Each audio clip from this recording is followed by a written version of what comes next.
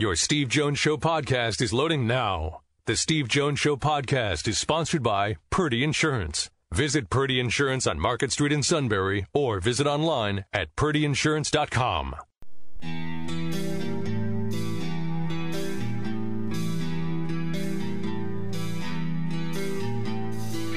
Sports talk where your voice counts. This is the Steve Jones Show on News Radio 1070 WKOK. Now, from the Sunbury Motors Studio, here's Steve Jones. Sunbury Motors, 4th Street in Sunbury. Sunbury Motors Kia routes 11 and 15 in Hummel's Wharf. And today's show brought to you by the great people at Purdy Insurance, Market Street in Sunbury. Go to purdyinsurance.com. All, uh, you know, whether it's auto, home, life, business, whatever it may be, people at Purdy Insurance get it done. Purdy Insurance, Market Street in Sunbury. Go to purdyinsurance.com. I mean, great people, great professionals, Purdy Insurance. All right. Our play by play call of the day Penn State's Nick Lee gets it done. Nick Lee looking to tie this one up. Can he finish the single leg? There's a Oh, ball wow. from Pletcher, and he can. It's 3 3.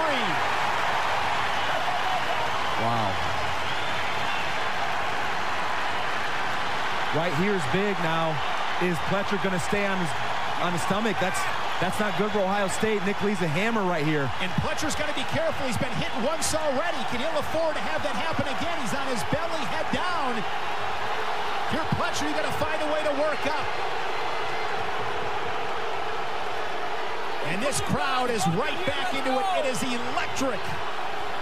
16,000 rooting on the Nittany Lion, Nick Lee. Can he finish the period on top? 15 seconds. Big Running time exchange. over 40 seconds.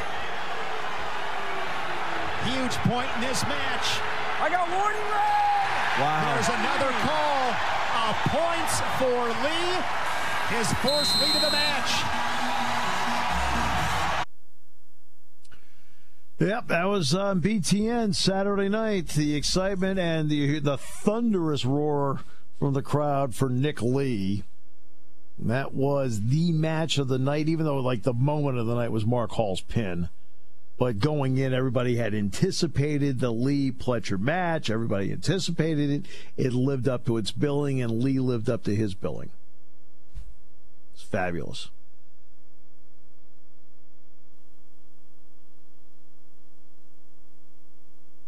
So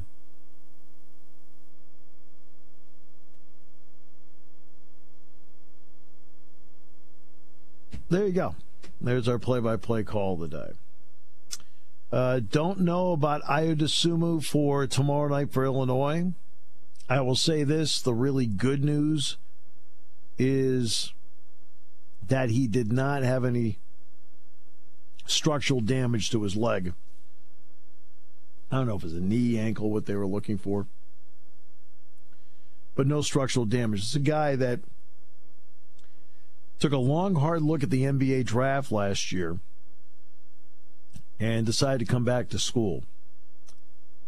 And many people feel that once again, he is going to be a guy that is going to get uh, a lot of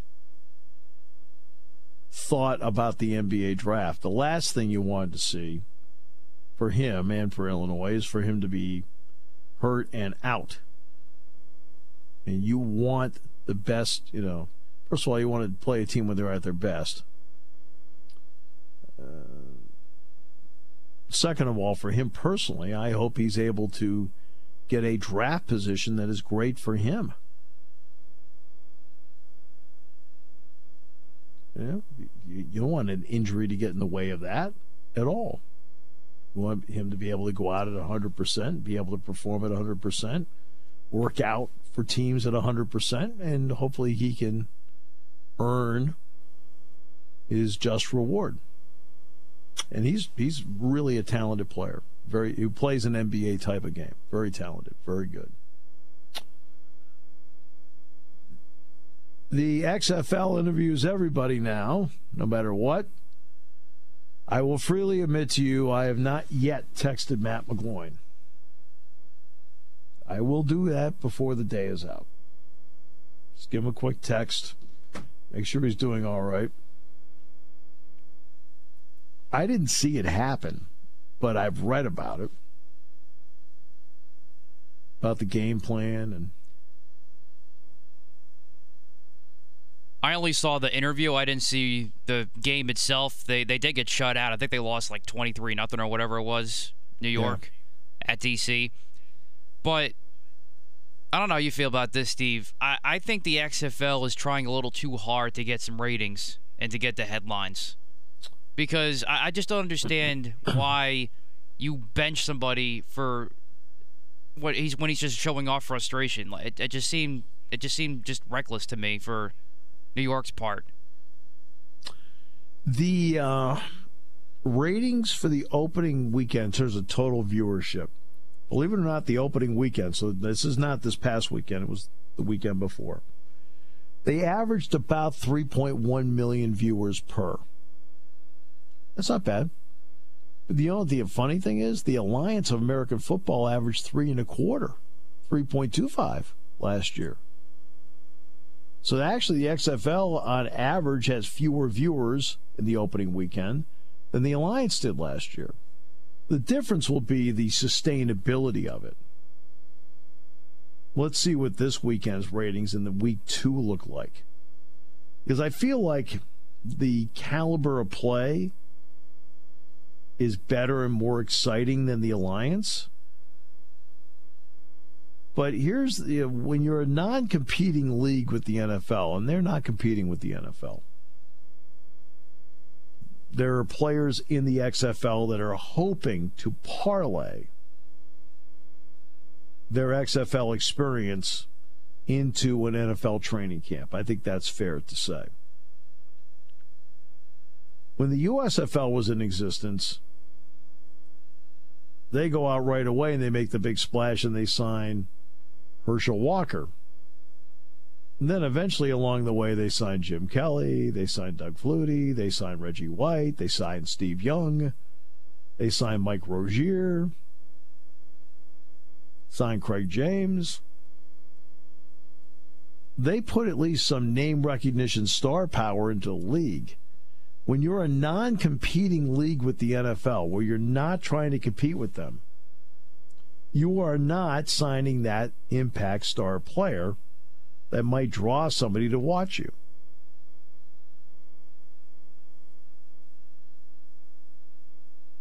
Now we've talked a lot about wrestling today. All right, so let's let's go with that. Penn State has had Ed Ruth, David Taylor, Bo Nickal, Jason Nolf. Now they've got Nick Lee, Mark Hall, Vincenzo Joseph. Penn State has in its wrestling lineup star power. And that star power relates when they go to Ohio State. It relates when they go to Iowa. It relates when they go to the Big Tens. It relates when they go to nationals. Star power draws the casual fan in. They've got star power. Penn State basketball has Lamar Stevens. Right? On a college level, he brings with him some star power. Cassius Winston, Anthony Cowan bring with them some star power. Tre Jones of Duke. You know, not maybe a ton, but enough. Micah Parsons brings with him star power. Of felt KJ Hamler did the same thing with football. And that's what the XFL doesn't have. I mean, it, it, you're trying to cultivate your own stars. Like, is PJ Walker a star? All right. You know, people have heard of Landry Jones, and he actually, by the way, played well.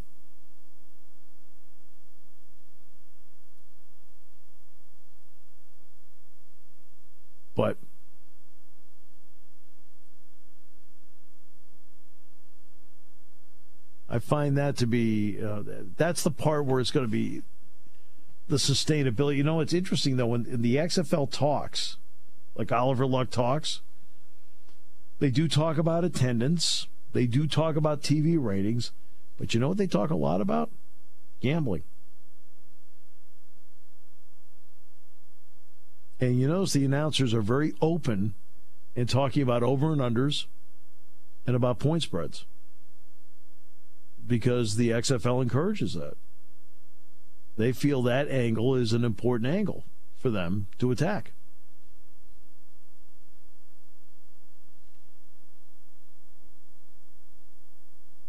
I mean, have you watched any of it?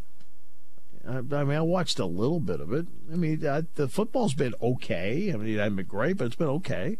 Yeah, I haven't yet. And, and to be honest, this whole thing with, with McGloin has just been so blown out of proportion that it's actually soured me a little bit from even wanting to watch even more. Because I, just think it's nonsense what they're doing right now. I mean, let, let's let's look at this here. You've already fired one defensive coordinator after one game in the first game of this week of this league. And then we have a quarterback being benched just for something he said during a halftime interview that he's that he's supposed to be doing. Uh, something tells me that I just I just don't like how this is being run right now by the XFL. I don't mind doing some new interviews like interviewing McGloin after he threw their one interception. That's fine. That's something new. That's something different. That's fine. But then just trying to make a controversy out of this, that's just to me is it's not even anything. It's not even a story. And then you ha- you're firing people left and right. It just the the quick hitches just don't work for me as far as trying to lure me in to watch your product. Well, in other words, you miss a field goal, you got somebody Jenny Taft is talking to you, or Tom Luginbill. I'll say this: I mean, they're putting out good people to cover this. Kevin Burkhardt, Steve Levy. Uh, oh yeah, Dianna Dianna Russini interviewed McGloin. Yeah.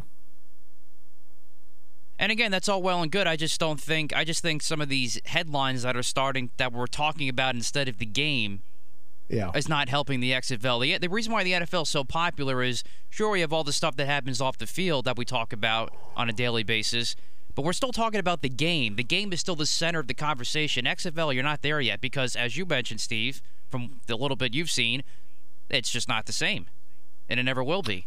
I will say this: the one thing they've done that I do like is they take you inside the replay booth. Yeah, I like that too. I'll give them that. Uh, no, words, let's go back to let's go back to wrestling again. You remember the show that never talks about wrestling? Um, let's go back to wrestling again. Every time you watch a, a wrestling dual meet on TV, the ref is always mic'd. You can always hear him in the background. He's mic'd up. I think that's great. There's no mystery as to what's going on out there as to what he's thinking. That's why, for example, I think that uh, the mistake that's made in stadiums and arenas right now is they need to be showing every replay that they can all the time. Lots of replays. You want to know why? Because that's what the fan at home is getting. More replays. Right? They're checking something over there, replay it for the fan. Show it. And every every lead referee in basketball and every home plate umpire should be mic'd up so that they can turn the mic on and, like football, announce the decision to the crowd. The crowd should not be the last to know what's going on. TV shouldn't be the first to know. Okay? The crowd should be the first to know, or everybody all at once, including TV like they do in football. And we keep talking about technology all the time. How do you use technology? Well, that's the simplest way to use technology. Okay? Okay, let's do simple well. Okay, let's do simple really, really well. Because if you can't do simple really, really well, how on earth do you expect us to believe in you when you try to do something complicated? Right?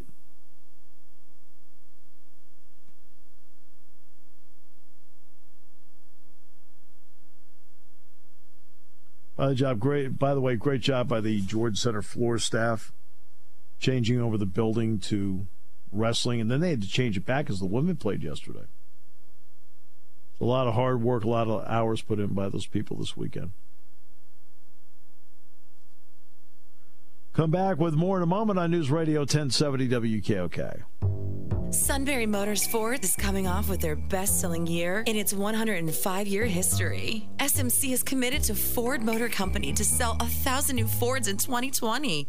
Wow! Pick from 25 of the totally redesigned 2020 Ford Escapes, and they start as low as 21960 Take up to $7,500 off MSRP of the all new 2020 Ford Explorer, and their price from just $33,965. Sunbury Motors is Central PA's truck capital. Choose from over 120 Ford F 150s and Super Duties. Mmm, Super Duty. The F Series truck has been the number one selling vehicle for 43 consecutive years, and SMC has them on sale for as low as 26,794. Sunbury Motors in the North 4th Street Auto Plaza, proudly serving the Susquehanna Valley's transportation needs for over a century.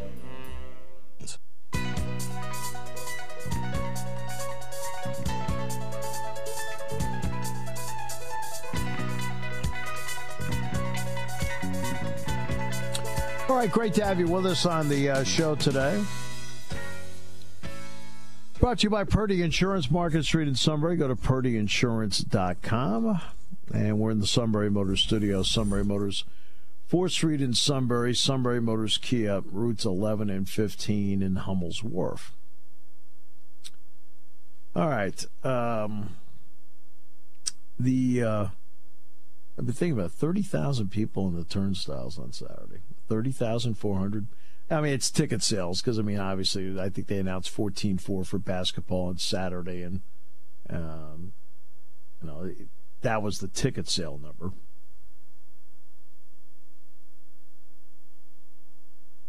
And uh, nearly sixteen thousand with fifteen nine ninety five for wrestling. That was that's a remarkable number on uh, Saturday night. You're like, well, why the disparity in numbers? Because you can put more, you can put seats on the floor. That's how you can get above 15, 261. You can put seats on the floor. And they're filled. Great atmosphere, great time, great match, great win. Men's basketball, I was mentioning this before the top. Jamari Wheeler had 11 points on Saturday. He's 3 or 4 and 4 in threes. He's hit 12 of his last 23 three pointers. Now, that's been spread out, out over a couple of months. He's very selective as to when he takes it. And when he when his feet are set and he can take his time, he can hit that shot. And he gets some time because people are laying off him a little bit.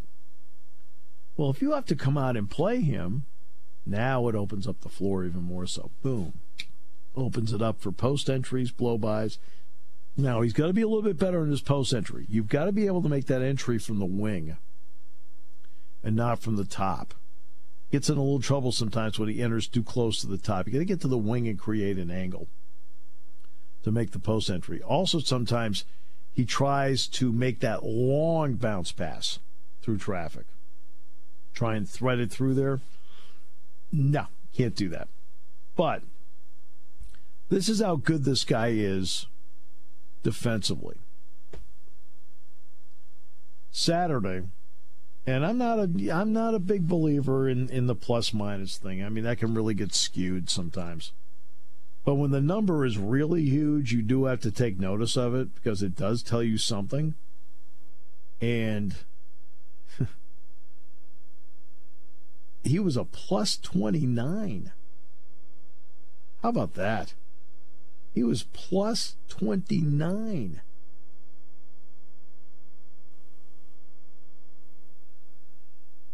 That's a that's a phenomenal number. I mean, the last time I saw a plus 29 was the suit in the front nine at Susquehanna Valley, but that's a different kind of plus 29. I mean, we talked about how well Harrar played against Daniel Oturu in Minnesota. Harrar was plus 23 in that game. In other words, when you're on the floor, your team was 23 points better. Well, when Wheeler was on the floor, Penn State was 29 points better on the when he was on the floor on Saturday. Again, he's not a prolific scorer. We all know that. But when he keeps his turnovers down, he's playing great defense. He's the kind of guy that cuts the head off the snake.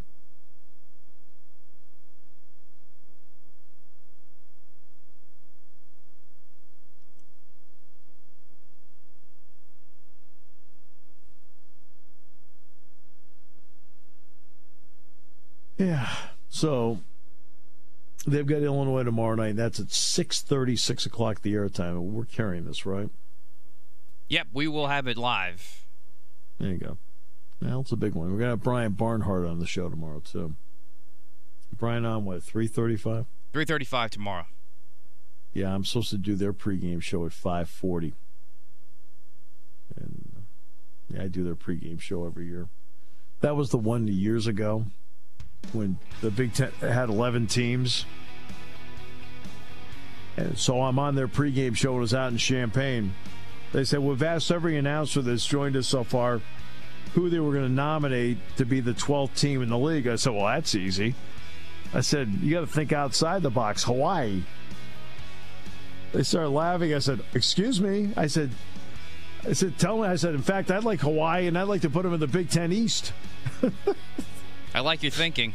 I said, every other year you're going to Hawaii.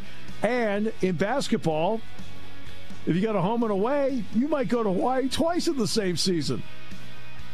I said, You people want Nebraska? I want Hawaii. that is quite the difference. Ah, you just you get all these. Everybody else gives a serious answer. Well, my answer was serious. I was serious. I wanted them to pick Hawaii.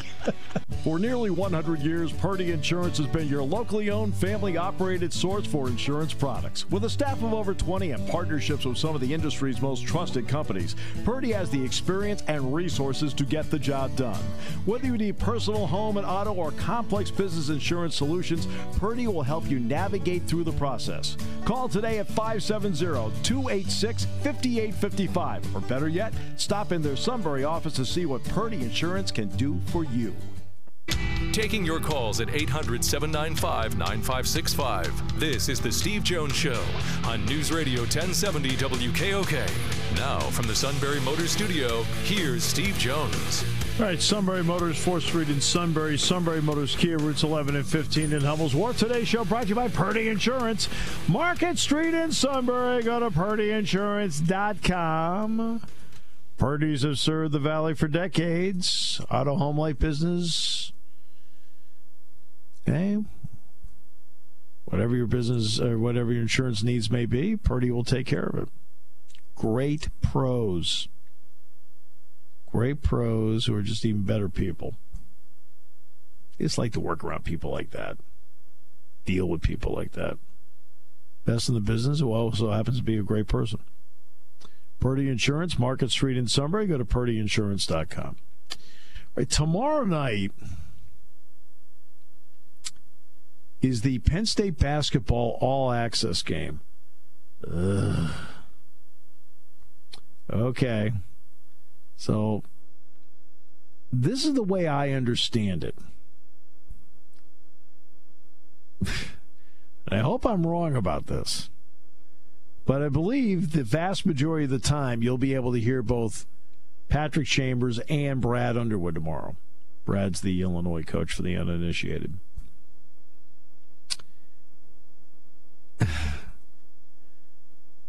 Here's the problem I have with this.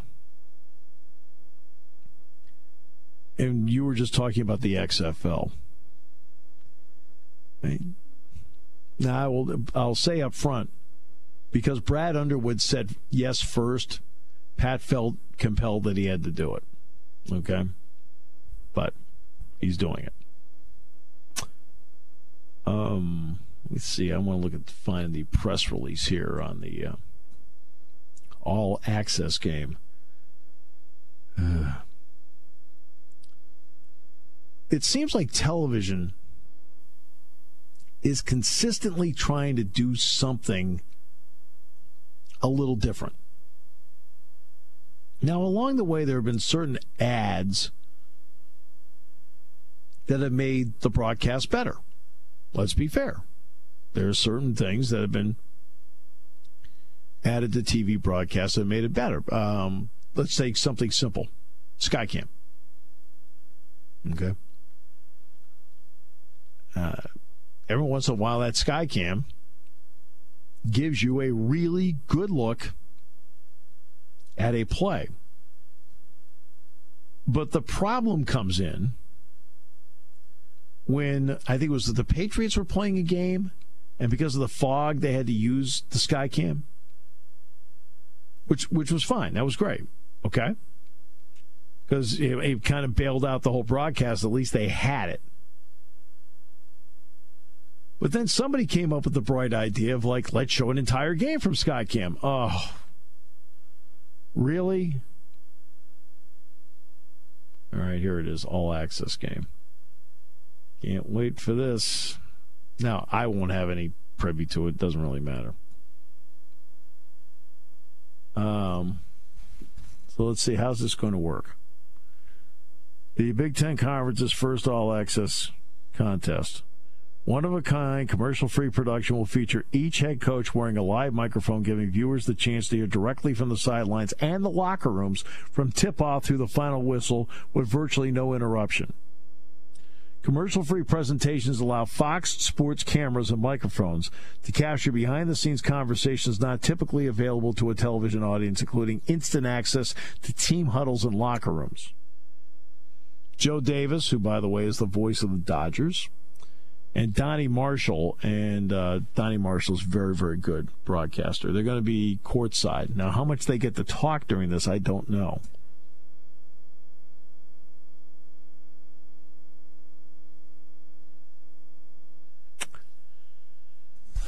But back to television for a moment. For some reason, television feels they've got to attempt to reinvent the wheel all the time. Now, I don't mind. I don't want things to be stale over time. But at the same time, one of the more foolish things you can do is that when you've got a winning formula as to how you do something, you continue with the winning formula and tweak here and there. You don't do do radical surgery to the winning formula, but you can tweak it to make it better. So look, sky. Hey, let's get a sky cam. Give people a different view, and we'll use it once in a while. That'll make it really effective. Perfect. Let's do an entire game with Skycam. Idiot. That's not how people are used to watching the game. Pylon cam. Okay. Name me, I don't know, name me two or three times where pylon cam was critical to how a play was called. Most of the time, it's like there's pylon cam. Up the angle of pylon cam, which is one foot off the ground, it's too high to see where the foot is or where the ball is. You usually just see a body flying by. Okay? That's just a toy. It doesn't do anything. Every okay, like once or twice when it's like been further down, maybe about the five, six yard line, maybe pylon cam can help you. Well, a pylon cam at the goal line. Ah, there's too many bodies. Yeah, I guess we didn't count on that when we put the pylon cam. Referee cam in the hat. Oh. Really? One game, Michigan was playing Ohio State in basketball. You know the camera was the cameraman was sitting? The entire time in the front row of a seat. They wanted to give you what it looked like from the front row of a basketball game. I finally turned it off as it was absurd.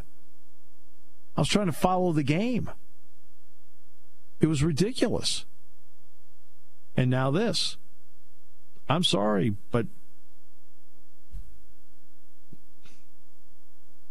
I, I think there are times where the TV guys think too much. Stop thinking. Just do the game. It's a big game tomorrow between Penn State and Illinois. It's a big game for both teams. You're going to sit there and have coaches mic'd up and uh, really? Now, maybe you, as a fan, have a different viewpoint. Maybe you want to hear what the coaches are talking about in the locker room and on the sideline and so forth. You know what? I am a firm believer that in a world filled with cameras, intersections, malls, the suits driveway, that you need some private sanctuary sometimes. That private sanctuary in sports is your practice field, it's your locker room, it is your huddle on the sideline. Where it's just you, whether it's home or away, it's just you in this group, and you're talking about what you need to be done. And you're also talking to them in such a way that works for your team. You know, you push a button here, you push a button there. You make a point of emphasis. And I'm not saying, and I'm not saying remotely that you're swearing at them or anything like that. And that's not what I'm saying.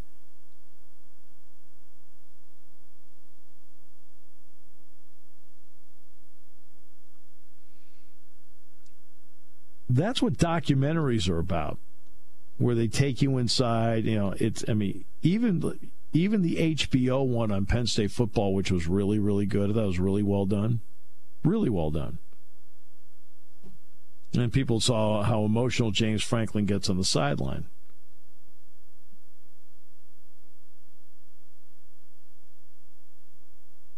I mean, even that, I know Penn State approved, you know, that they had editorial control over it and so forth. But even that, I was like, okay, yeah, I, I, I understand. But live like this, I don't know. To me, TVs is every time you turn around, I feel like there's just certain people thinking too much and they're trying to reinvent the wheel. There's a way of doing sports. Just do it. People want to see the game. You know, like an innovation in wrestling, it's a small one, but having the referee mic'd up has been great. That's been terrific.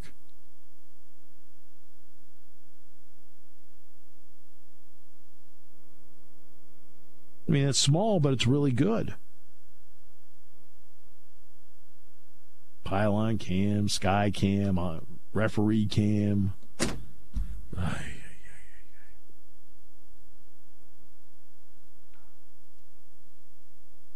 I just don't. I don't know. Shake my head sometimes at some of the stuff that they think of because they're trying to present the game to in a different way. You know what? I, guess what? I'm used to the way you're presenting it now. Right? And I and obviously based on the ratings and the fact that sports is more popular than ever, people like what they're seeing. You know, there's, there's certain things that they they bring in. For example, um, on golf, the tracker on a drive. That's good. I like it. It's a nice it's a nice split screen. Good. That's a nice innovation. But it doesn't take away from the basic shot that you're seeing on the left, which is the shot you usually see somebody hit.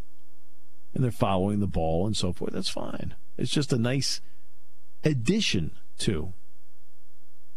You're not doing tracer technology on every single shot where you're just, okay, you're not. Uh, whether it ball's in or out in tennis, well done.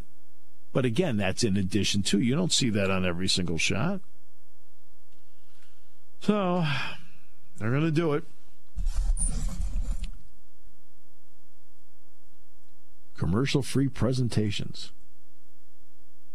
I can tell you right now on radio, we will not be commercial free. we are going to take breaks. And I'm going to take a break right now. You're on News Radio 1070 WKOK, brought to you by Purdy Insurance.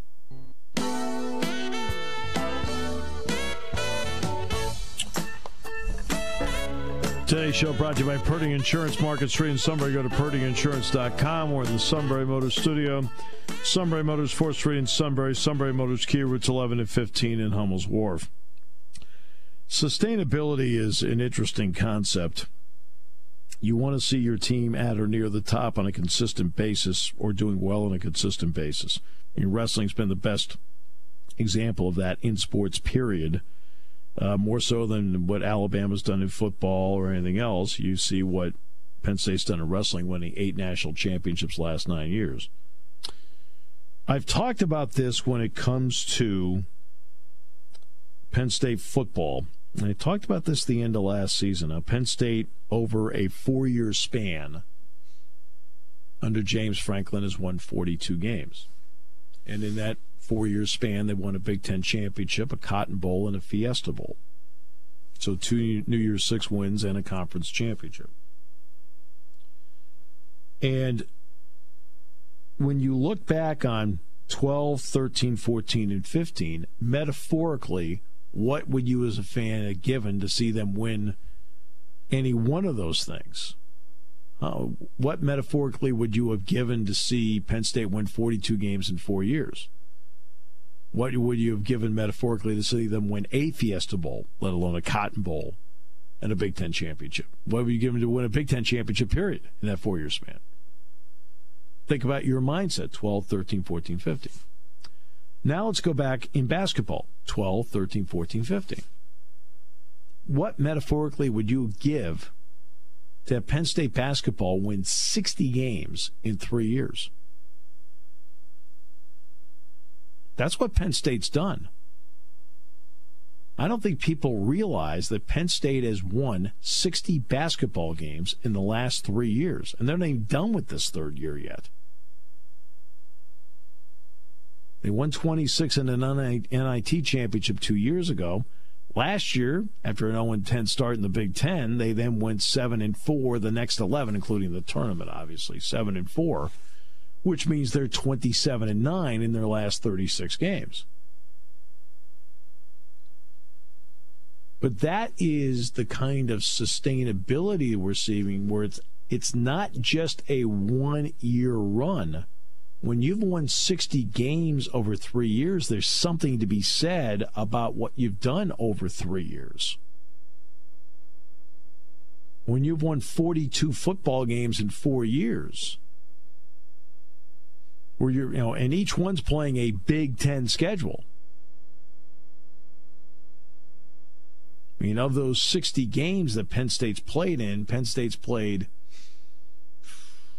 18, 38. What they played 14 so far?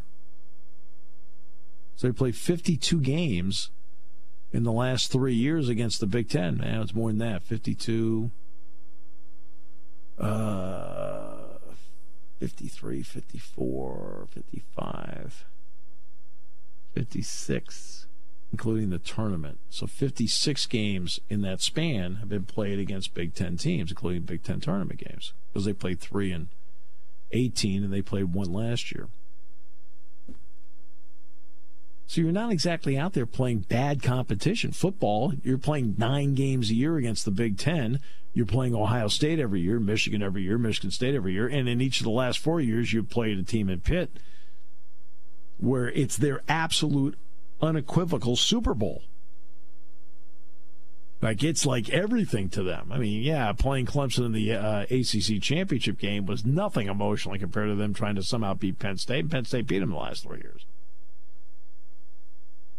So you're winning these 42 games in which you've, you know, we talked about it, you've beaten Wisconsin twice. You've beaten Iowa four times. You've beaten Michigan twice. You beat Michigan State twice. You beat Ohio State. You beat Washington. You beat Memphis.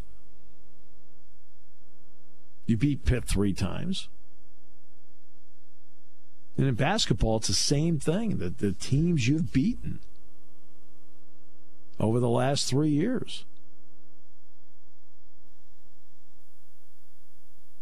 I mean, Penn State's got seven quad one wins this year.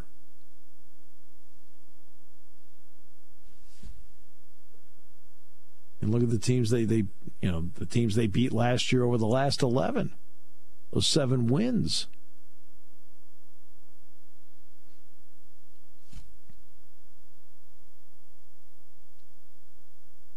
I mean, they've been beating they've been beating good teams. So there's been actually a model of sustainability to what Penn State's done in the last three years in basketball just like there's been a model of sustainability in what James Franklin's done with Penn State football. It's obvious what's happened in volleyball over the years with Russ Rose. It's obvious what's happened over the years with Cael Sanderson, Erica Dambach in women's soccer, Guy Gadowsky in now we're seeing that level of sustainability in men's lacrosse with Jeff Tambroni. I think Missy Doherty has a pretty good women's lacrosse team this year, too, and she's been to the two Final Fours. But it's the ability to sustain success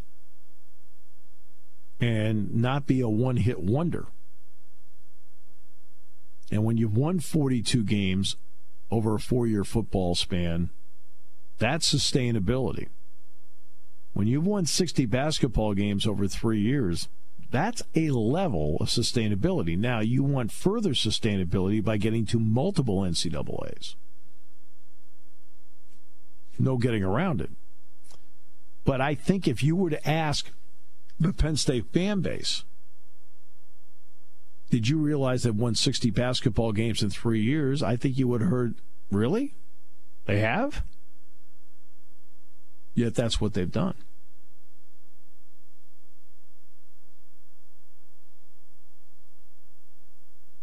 Just something to think about. We've been informed. I mentioned uh, like cameras at intersections, stores. I mentioned the suits driveway. I I got a text from him. He has actually eight cameras on the property. Wow.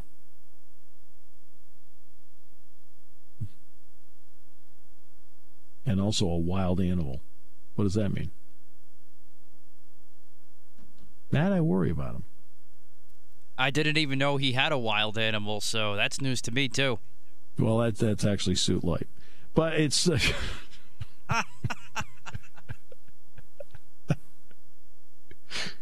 who, by the way, we don't know the date yet, but I guess he's getting married. At least, at least they've they he has a fiance. How about that? Yes, that I can confirm. No, no, congr- I think that's awesome. Congratulations. Yeah, absolutely. Right.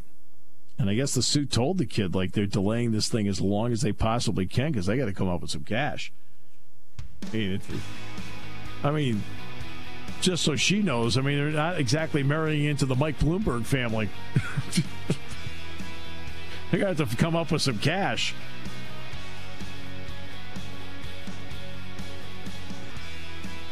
I told him, I said, look, I think the GoFundMe thing is not the way to go. But, uh, you know, since he asked, I figured I'd offer. I wouldn't go with the GoFundMe page for the wedding. It doesn't bring with it any sympathy.